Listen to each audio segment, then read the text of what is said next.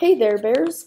This week started off the Question of the Week series. I went around school asking students and teachers what their favorite part of Spirit Week is. Now, enough of this introduction. Here are the interviews.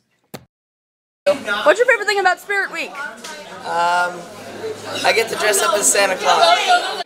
I would say being able to dress up for Tuesday, I think, for the past. What's your favorite thing about Spirit Week?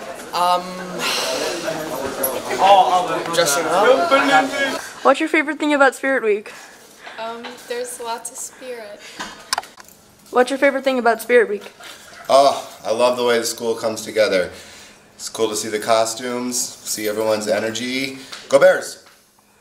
What's that? What's your favorite thing about Spirit Week? About Spirit Week? Yeah. All the spirit, of course. So what's your favorite thing about Spirit Week? the kids, of course, all the costumes, all the enthusiasm. Go Bears! Um, my favorite thing about Spirit Week is the camaraderie and the school spirit and just being a team. Thank you for watching the video. Stay tuned for more questions of the week.